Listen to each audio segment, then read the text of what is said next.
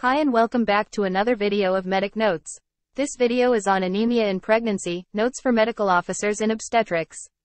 The definition of anemia in pregnancy is different based on the gestation trimesters. In first trimester, anemia is HB less than 11. In second and third trimester, HB less than 10.5, and for postpartum, HB less than 10. The severity of anemia can be mild, moderate, or severe. Screening for anemia is done during booking, during 20 to 24 weeks of gestation, and at 36 weeks of gestation. Anemia in pregnancy is not a complete diagnosis. A cause must be identified to ensure effective treatment. 95% of anemia in pregnancy is due to iron deficiency anemia. However, other causes must be explored if patient not responding to hematinic. There are three main types of anemia. Microcytic hypochromic anemia can be due to iron deficiency anemia, thalassemia, anemia of chronic disease, bleeding from GIT, or hookworm infestation. Normocytic anemia can be due to acute blood loss, anemia of chronic disease, hemolytic anemia, or dilutional anemia. Macrocytic anemia can be due to vitamin B12 deficiency, caused by pernicious anemia, gastric bypass surgery or diet.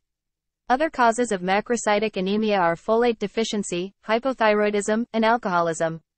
The features suggestive of IDA. Previous or early booking HB with normal MCH and MCV. Microcytic hypochromic anemia. Mentzer index more than 13.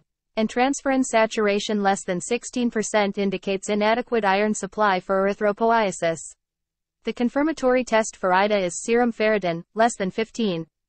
Treatment should be considered if level less than 30, as this level indicates early iron depletion.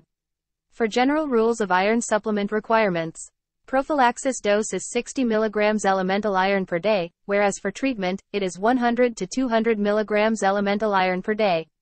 For prevention of anemia, give dietary advice, increase iron intake, vitamin C, and avoid iron absorption inhibitors like tea, coffee, cereals. WHO recommends prophylactic iron supplement with 30 to 60 mg elemental iron daily throughout pregnancy. Explore more on compliance and tolerance to iron supplement. The correct way on taking iron supplement is on empty stomach, 1 hour before meals, with a source of vitamin C avoid taking together with antacids. For treatment, once anemia in pregnancy is detected, treat empirically by increasing the dose of iron supplement to treatment dose. A rise in HB of 1 gram per deciliter per week should be demonstrable by 2 weeks and confirms iron deficiency. Once HB normalized, continue treatment for further 3 months, and at least until 6 weeks postpartum to replenish iron studies. If no response to oral iron supplement, to proceed with further workup according to types of anemia. Microcytic hypochromic, do PBF, serum iron and ferritin, HB electrophoresis with DNA analysis, stool for occult blood, stool for ova and cyst. For macrocytic, do PBF, serum folate, serum B12, TFT. Some cases require referral to family medicine specialist or O&G specialist. Such as symptomatic anemia, severe anemia HB less than 7, or failure to respond to iron supplement. Let's look at parenteral iron. Parenteral iron is only for confirmed IDA and the indications for parenteral iron are failure to respond to oral iron, noncompliance or intolerant to oral iron, and malabsorption of iron. Whereas the contraindications are history of allergy or anaphylaxis to parenteral iron, first trimester, acute or chronic infection, or chronic liver disease. Greater scrutiny before blood transfusion is needed.